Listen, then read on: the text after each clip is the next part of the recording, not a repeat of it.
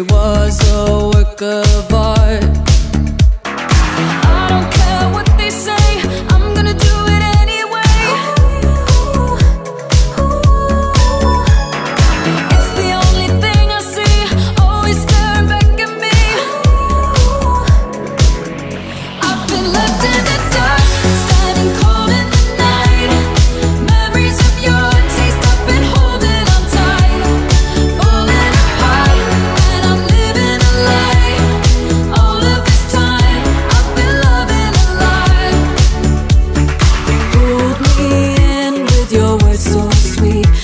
Every time I ignore the signs